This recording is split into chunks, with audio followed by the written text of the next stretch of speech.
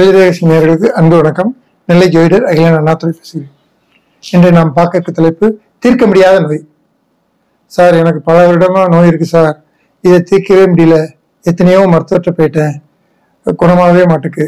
உங்களுக்கு குணமாகணுமா ஈஸியான வழி இருக்கு. அதை ஃபாலோ பண்ணுங்க. அது ஒன்றும் இல்லைங்க. இதில் நீங்கள் செய்ய வேண்டியது என்ன அப்படின்னா நல்லா கவனிங்க. ஏற்கனவே எடுத்துக்கிட்டு இருக்கிற மருத்துவரை ஃபாலோ பண்ணாதீங்க. அதே மருத்துவத்துக்கு வேற ஒரு மருத்துவர் இருப்பார் இல்லையா? உங்களுக்கு என்ன கம்ப்ளைண்ட்டோ அந்த இதுக்கு வேற ஒரு மருத்துவர் இருப்பார் இல்லையா? அவரை செலக்ட் பண்ணுங்க. அப்புறம் அஷ்டமி திதி. இதுல முத முதல்ல போய் மருத்துவ ட்ரீட்மெண்ட் தொடங்குங்க. கண்டிப்பா நூறு மடங்கு உங்களுக்கு கை கொடுத்து அந்த நோயிலிருந்து வெளியில் வந்துடுவீங்க சரி சார் இந்த அஷ்டமி திதியை கண்டுபிடிக்க முடியல. இல்லை அப்படின்னா புது மருத்துவரையும் கண்டுபிடிக்க முடியல.